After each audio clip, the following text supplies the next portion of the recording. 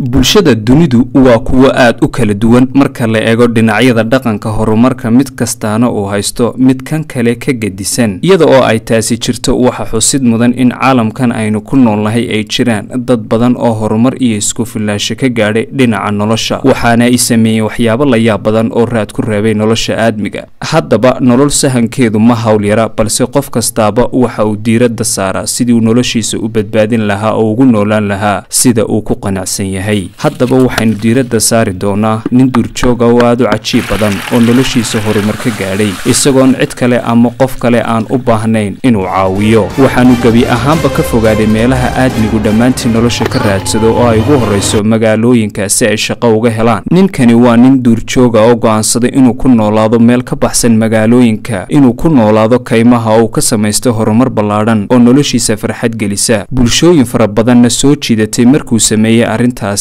ay keentay in noloshu ay u baahan tahay kalsooni iyo dadaal wada socda. In badan oo innaga inaga midi ma jecla cidlo inay ku noolaadaan amba ay ka raadsadaan laakiin dadka qaar baa jecel noloshaasi bilasa waxaan koo door bida cidlada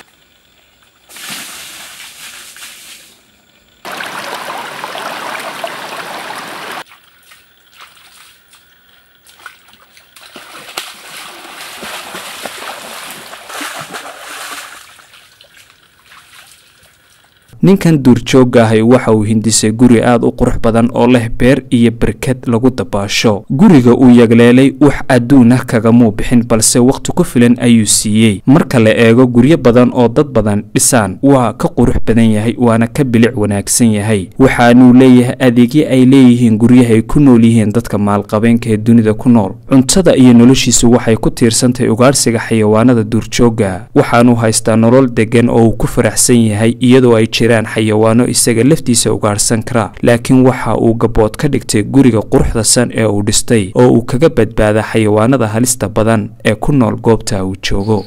Xamse xirsaxayd calson t v